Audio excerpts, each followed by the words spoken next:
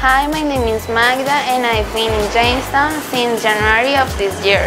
I'm very happy here because I can improve my English for my career and my life. I'm studying architecture in the University of Tolima and I plan to continue my studies in another country. And thanks to Jamestown I can do this.